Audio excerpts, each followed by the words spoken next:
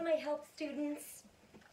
Mrs. Belocas here. I miss all of you, but I thought that it would be fun for us to connect in some ways while you're home and staying safe and healthy, which you know is so important to me in making sure that you are safe and healthy.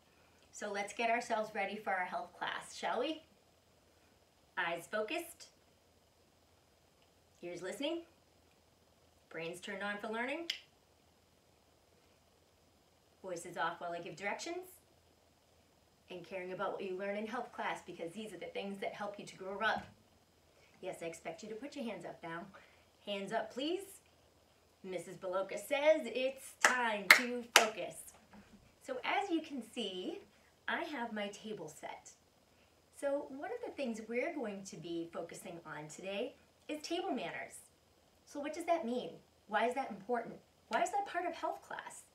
Well, let's think about this for a minute. What is health class for?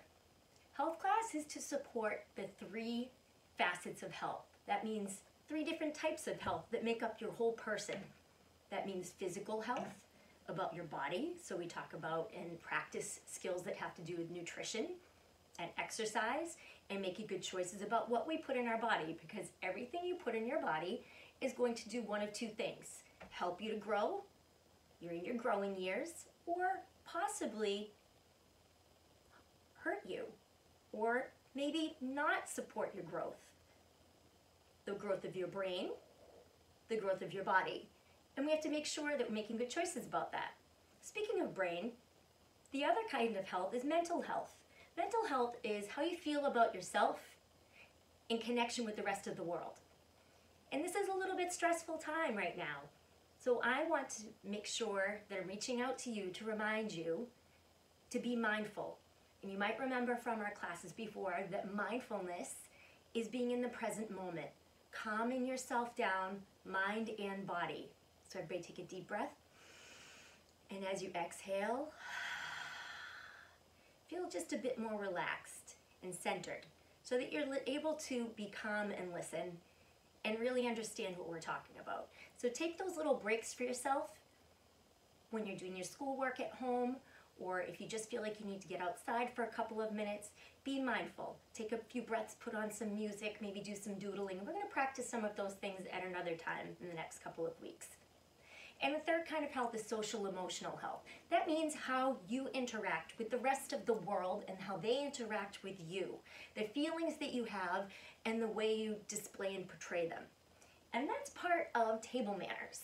Table manners are important because it's something that you're going to have to practice throughout the rest of your life. It's not something just for little kids, and it's not something just for grown-ups either. So everybody likes when other people are polite. When you're not polite, it makes the other people around you feel uncomfortable. So making other people feel comfortable around you because you have great manners is part of showing that you care about other people. It's showing that you're considerate and thoughtful, and it also means that you care about yourself too. So that shows good self-esteem. So we're going to start with a story today about table manners. Table Manners, a book about table manners. Now I'm going to move our camera just a little bit closer so that you can see the pictures a little bit better.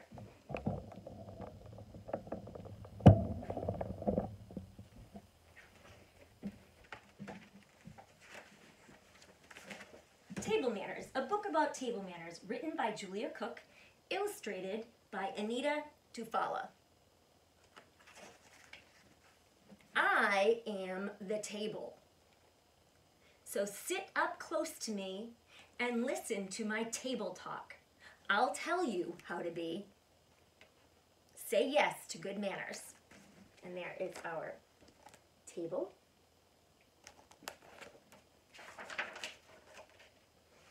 Having good table manners is a must if you want to be your best. I'll tell you what you need to know and I'll show you all the rest. Did you know that table manners really matter? They're more than just about eating. They're about being kind and considerate of others and being respectful of people's feelings.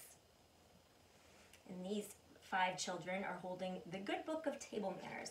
Looks like they're all sitting up tall. Chairs are pushed in. You may be cute, important and smart, But know this for a fact. If you have bad table manners, people will notice and judge you by the way you act. Make sure your face and hands are clean before you sit down by me. I don't want to be the place where germs get spread. I want to be germ free. We've definitely, definitely had many lessons about being germ free, so making sure they're practicing good hygiene. Being a table makes me lucky. I get to be the place where people come together and enjoy talking face to face. Don't talk on your phone or text at the table. I've been waiting here all day. I can't wait for you to sit by me. I want to hear what you have to say. Mealtime is very special. You get to spend time with others. If your face is buried in a video game, you can't talk to one another. Please leave your video games in your room. Uh, put them right in here. People forgetting to talk to each other is one of my greatest fears. And this basket says devices in the basket at mealtime. So making sure your face isn't stuck inside of a device and you're looking up and being polite and respectful and paying attention to the people around you. You probably wait to see them all day and this is a special time for you to connect. When you sit down in your chair, don't hunch way down or lean way over your plate. Rest your forearms, not your elbows, on the table and do your best to sit up straight. If your mealtime is not a buffet, you sure don't want to be rude. Before you sit down and start to eat, wait till everyone has their food. So you don't want to be grabbing and reaching, that would not be polite. When someone puts food on your plate, say thank you and give it a try. If you say something like, that looks yucky, you might just make the cook cry. If the food tastes nasty, spit it out in a napkin. While you pretend to wipe your face, spitting out food in front of others will cause a big disgrace. And personally, I wouldn't recommend spitting your food out at all. Do your best to chew and swallow it and be polite as you can be. And please use your fork and pick up your food or your spoon whenever you can, unless you're a baby, which none of you aren't, or you're eating finger foods, you should never eat with your hands. Don't stuff your mouth full of food or take too big of a bite. It looks gross and you might choke. This bite looks just about right.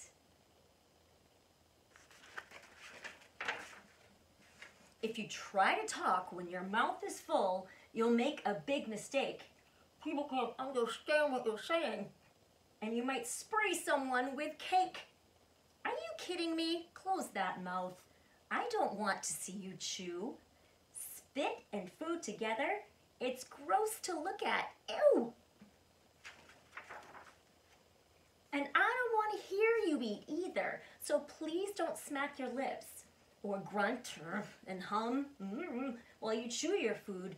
People don't like that one bit. Eat slowly. Don't gobble your food. Enjoy your food. Your meal took time to prepare. Wait five seconds between each bite and show the cook how much you care.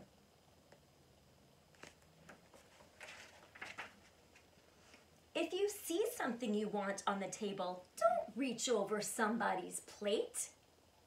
Ask for that item to be passed to you. It won't be that long of a wait. Don't use your sleeve to wipe off your mouth. Use your napkin instead. Place your napkin on your lap when it's not being used. Are you remembering all that I've said? Never blow your nose with your napkin or wipe off your entire face.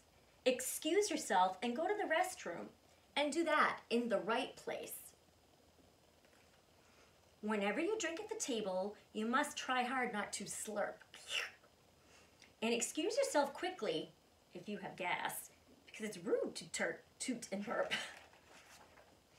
If a gas bubble slips out by accident, make sure you say, excuse me. Gas bubbles at times can be very tricky, don't you all agree? Just don't make a big deal of it, say excuse me, and move on. Always thank the cook when you are done eating and ask to be excused. You'll find that mealtime is a lot more fun when you act the way you should. I am the table, and I know this stuff. These things I know for sure. Using good table manners is a must if you want to do well in this world. I know there's lots to remember, so let me tell you what I've found. You'll need to practice and be reminded a ton before you'll have it all down. So the next time you go to sit down at a table that's just like me, remember my table talk and be the best you can be. So we're going to review some table manners together.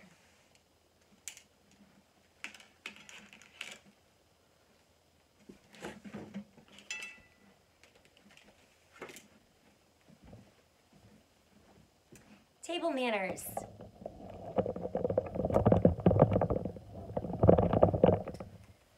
Come to the table with a clean face and hands.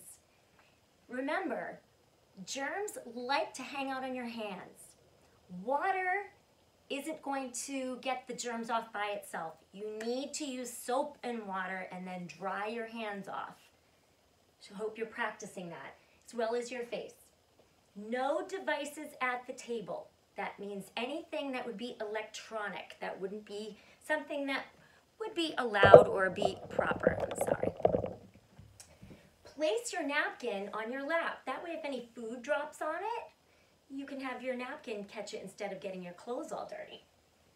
Only begin eating when everyone else does. So don't just start gobbling up your food before your mom or your dad has a chance to sit down or your brother or sister. Wait till everybody's sitting down and then start eating together. That's the polite way to do that. Stay seated. Sit up straight. So if you must leave the table for any reason, if you need to go to the restroom, you ask first. Ask politely and say, excuse me, and ask if you can leave.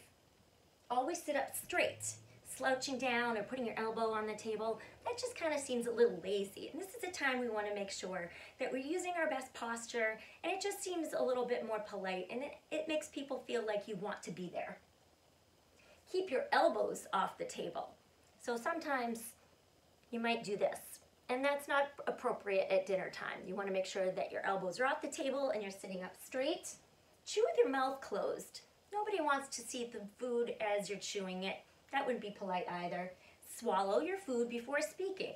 Whatever it is that you have to say can wait for those few seconds until you chew and swallow your food, and then you can speak and others can hear what you're saying without having to see what's in your mouth. Instead of reaching for something, like maybe bread in a bread basket or a ketchup for your food, make sure that you ask, please could you pass the ketchup? Do not stab or shovel your food. So when you're stabbing your food or shoveling your food, it's not the right way to be holding your utensils and it might make a lot of noise. So we're going to practice that a little bit too. Speak in a pleasant tone about appropriate topics in a reasonable volume. So you certainly wouldn't want to be screaming at the dinner table nor do you want to not say anything at all. This is a time for you to get together and have some nice conversation, maybe about your day or about something great that happened or something you want to do or look forward to or listening to what's going on with other people in your family. And making sure you're talking about things that would be appropriate at dinner. For example, if someone's bringing up something that maybe didn't seem like it was the right thing to have uh, to talk about at dinner. Maybe it was something that you found like maybe like a little gross. That's probably not what you want to be talking about at dinner. Talking about things that make everybody comfortable. These are all part of having good manners. So let's look a little bit more closely at our table.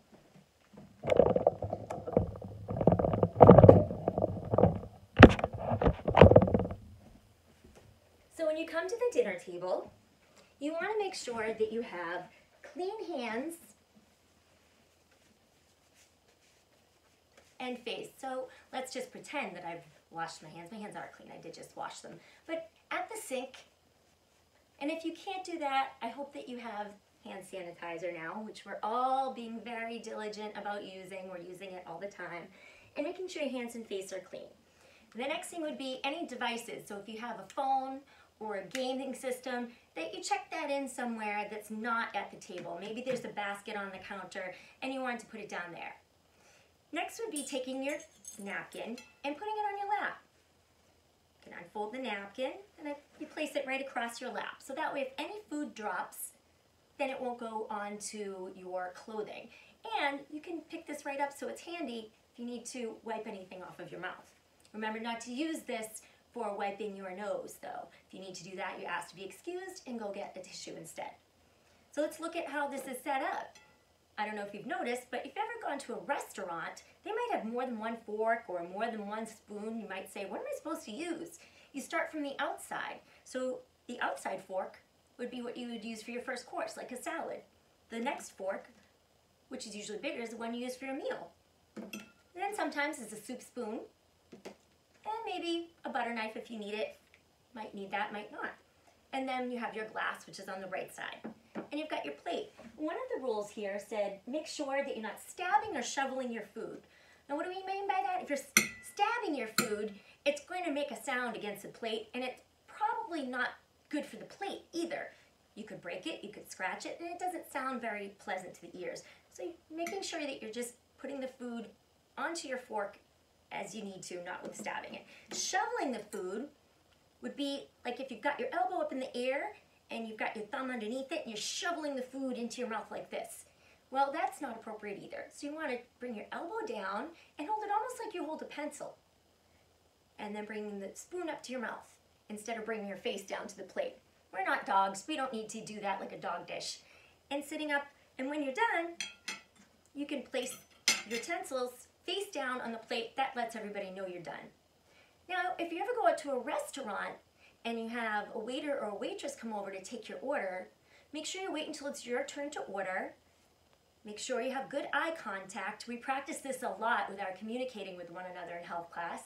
So eye contact and making sure that you're speaking loud and clear. Put a smile on your face and use your best manners. May I please have, and whatever it is that you are ordering, may I please have the hamburger? Thank you. And saying thank you when you're done. So that's an appropriate way to order and making sure that you're using your manners as well in a restaurant. And don't just save the manners for special occasions like going out to a restaurant or a holiday at grandma's house. You should always be practicing good manners. Now, those good manners can really take you far. Think about it. You're sitting with friends in the cafeteria. Think about the friends you sit with in the cafeteria. Don't you like it when they have good table manners? Maybe you notice they have clean hands. Or if they don't have clean hands, you might notice that too. You notice when they chew their food with their mouth closed. Or maybe you notice when they chew with their mouths open. Or maybe you notice when they burp or make loud noises. And that's probably not appropriate either. Or you might notice when they get up and down from their seats all the time. That doesn't make for a, a very peaceful lunch. So practicing your table manners is also being part of being a good friend in school. And it's also part of being respectful at home to your family members. And as you get older, it can show people how much you care, how confident you are, how considerate you are. Maybe at some point if you have to go to a meeting or a date or a business luncheon. You want to show people that you know how to behave in, in school, out of school, and in social situations. So this is a skill that's for life that you're going to be utilizing. We're going to follow up with an activity. I'm going to stop the video here and restart it showing you what the activity is going to be.